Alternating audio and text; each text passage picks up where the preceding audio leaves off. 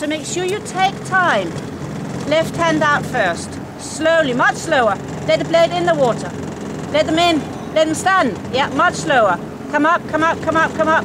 Right up to compression. Wait. Now just kick. Kick. Yeah. That's all I want you to do. All I want you to change at the moment is to get in there and get that feel. If that means you take the catch on your own because you're in first, so be it.